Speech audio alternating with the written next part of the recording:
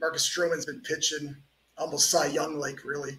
He's been good all season, really consistent, and, and even better of late. He's sporting a 0.78 ERA and a whip of 0.65 in his last three starts. That, uh, as we all know, is really, really good. Now, normally I would be the first one here saying, okay, he's got to regress. But even if he does regress today, his regression will probably be good enough to, to, to win this first five in this one, in my opinion.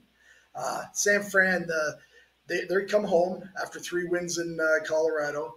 Uh, they're playing some decent baseball. And uh, they send uh, Anthony uh, DeSclafani to the mound tonight. And he's really struggled of late. He's sporting a 7.20 ERA and a whip of 1.60 in his last three starts. And actually, you know what? Anthony likes pitching away from home. He's two and a half runs better on the road than he is at home with his ERA. So maybe there's something he just doesn't like about uh, pitching at home. Not sure, but uh, when we see stuff like that, we'd like to point that out. Uh, we like the Cubs here for that first five. Don't really trust them for a full game because they've been having some trouble holding leads. Uh, they actually got me uh, on the first five this uh, this week already when they had a big four nothing lead and gave it up.